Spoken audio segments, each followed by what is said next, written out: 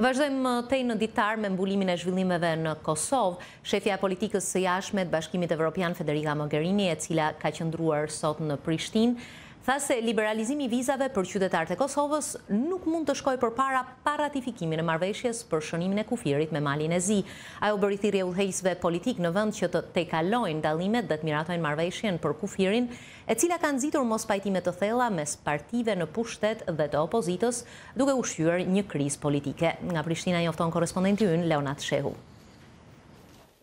Shefja e politikës së jashtme të Bashkimit Evropian, Federica Mogherini u bëri thirrje udhëheqësve politikë të Kosovës që të arrijnë një pajtim rreth marrëveshjes për shënimin e kufirit me Malin e Zi dhe të hapin rrugën për liberalizimin e vizave për qytetarët e Kosovës.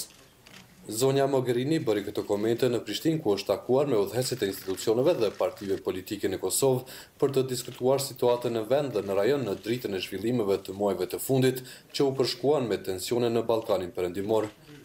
Zonja Mogherini tha se propozimi i Komisionit Evropian vitin e kaluar për vizat ka qenë i qartë. that there were two conditions that had to be fulfilled. Kanë qenë dy kushte të qarta, luftimi i korrupsionit dhe krimit të organizuar ku ka pasur përparim dhe ratifikimi i marrëveshjes për kufirin me Malin e Zi ku nuk ka pasur përparim, tha ajo, duke nënvizuar se ky proces nuk mund të shkojë përpara pa ratifikimin e kësaj marrëveshjeje.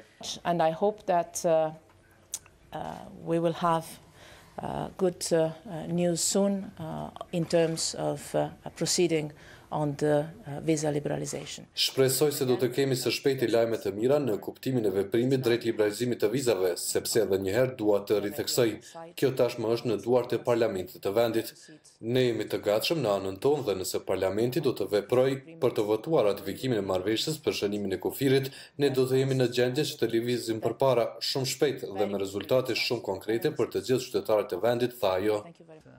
Por kryeministri i Kosovës, Isa Mustafa i bëri thirrje Bashkimit Evropian që të mbështesë Kosovën për të zgjidhur çështjen e marrëveshjes për shënimin e kufirit me Malin e Zi. Por po ashtu kërkuam ndihmën e përfaqësueses së lartë Mogherini dhe të Komisionit Evropian në kapërcimin e gjendjes të cilën ne kemi tani me demarkacionin e kufirit me Malin e Zi për shkak për shkak të kundërshtimeve të cilat i kemi në një pjesë të parlamentit, përfshi tërë opozitën, por edhe mungesës së pjesëmarrjes së deputetëve të Listës Serbe në në kuvend që po shkakton se qytetarët tanë po mbesin peng e këtij kriteri. Çështja e marrëveshjes për shënimin e kufirit me Malin e Zi nxiti mospajtime të thella që çuan në krizë politike. Debati për kufirin në Kosovë është përcjellë për një kohë të gjatë me skena të dhunshme në parlament e ndonjëherë dhe jashtë tij. Edhe pas takimit me zonjën Mogherini, partitë opozitare nuk dhanë shenja se kanë ndryshuar kundërshtimin e tyre ndaj kësaj marrëveshjeje që sipas opozitës e dëmton Kosovën për mbi tetë mijë hektarë tokë. Zonja Mogherini ndërmjetëson bisedimet ndërmjet Kosovës dhe Serbisë të cilat u përfshinë në një valë tensionesh të larta politike në fillim të vitit dy mijë e shtatëmbëdhjetë. Gjatë dy muajve të kaluar ajo në dy raste mblodhi në Bruksel udhëheqësit më të lartë të të dyja vendeve për të ulur tensionet dhe për të siguruar vazhdimin e bisedimeve që sipas saj nuk kanë alternativë, por janë në shërbim të qytetarëve. Ajo vizitoi edhe urën kryesore mbi lumin Ibër në qytetin e Mitrovicës, duke shfaqur shpresën se ajo nuk do të jetë më vijë ndarëse, por e bashkimit të komuniteteve.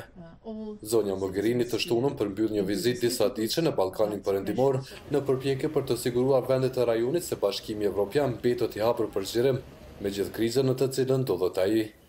Për Zërin e Amerikës, Leonat Shehu, Prishtinë.